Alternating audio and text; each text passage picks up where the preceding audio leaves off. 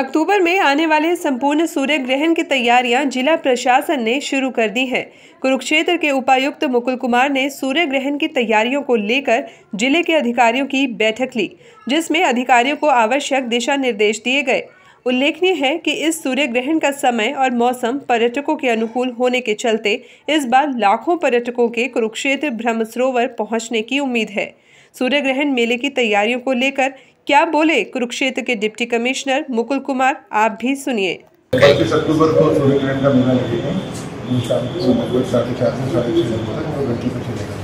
तो उसकी तैयारियों को रिव्यू करने के लिए ऑफिसर्स की मीटिंग बुलाई गई है। जो जो विभाग हैं ड्यूटी असाइन की गई है। और आने वाले समय में भी रेगुलरली होती रहेंगी। फीडबैक जाएगा। और आपको रिव्यू करते हैं।